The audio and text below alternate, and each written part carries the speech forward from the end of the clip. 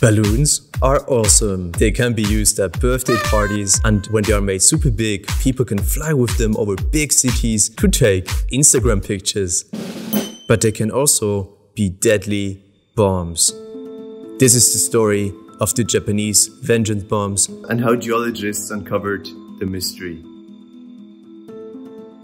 In November 1944, during the Second World War, the Empire of Japan sent mysterious balloons in the air which had been fabricated by minors in factories. The researchers had many months prior noticed while mapping out the wind currents that a strong air current traveled across the Pacific at about 9 km. The idea was to have these devices float over the forested regions of the Pacific Northwest and initiate large forest fires that would hopefully divert US manpower. The balloons were crafted from mulberry paper, glued together with potato flour and filled with expansive hydrogen. They were 10 meter in diameter and could lift approximately 450 kg, but the deadly portion of their cargo was a 15 kg anti-personnel fragmentation bomb attached to a 90 meter long fuse that was intended to burn for about 82 minutes before detonation.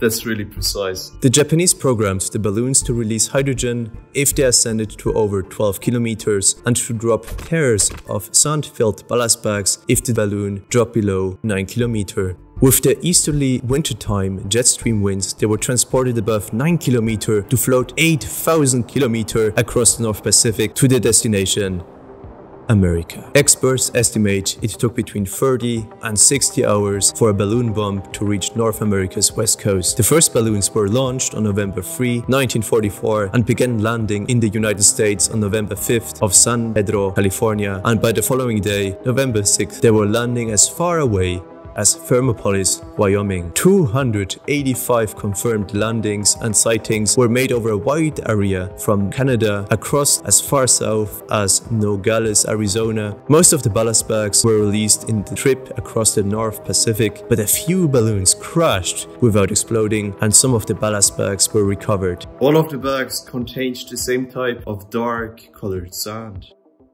On March 5, 1945, a minister's wife and five Sunday school students on a fishing trip were killed by one of the grounded balloons near Bly, Oregon, while attempting to pull it through the forest back to the camp.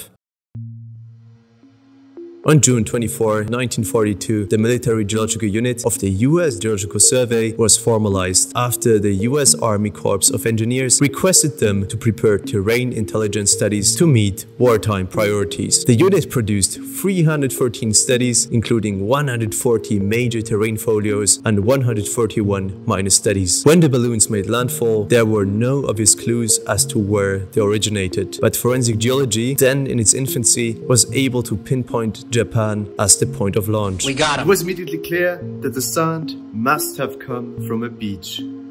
But from where? Further examination revealed that the sand was devoid of any coral but contained small mollusk fragments. They also found foraminifera, tiny skeletons of microscopic organisms that feed on the ocean bottom. Some of the foram species identified had only been previously described in Japanese geological papers dealing with beaches north of Tokyo on the eastern shore of Honshu. The individual sand grains were found to be of granitic origin, but with an unusual set of trace or associated minerals. 52% of those trace minerals were hypersthene, a heavy mineral. Another mineral called augite was also found in abundance but was known to be of volcanic origin. Two other heavy minerals, hornblende and garnet, were varieties thought to be associated with metamorphic source rocks. They determined that the sand samples likely came from either of two locations, a northerly site along the Great Beach at Shiogama, close to Sendai, Japan, and or the 99 League Beach at Ichinomiya, Japan.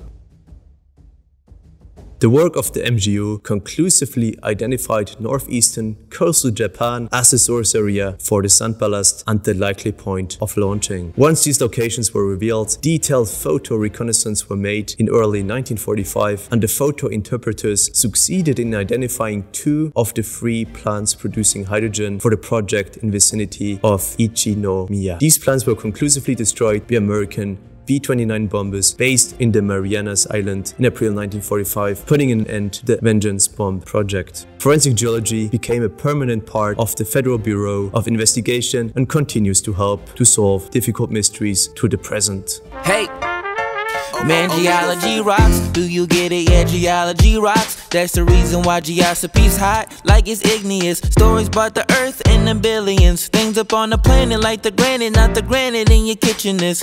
You love science, play on. You know we gotta stay on. Take a dive, cause you know we getting live. Watch us thrive, cause you know that we the winners, no, we not par. So come subscribe and you'll be a real rock star.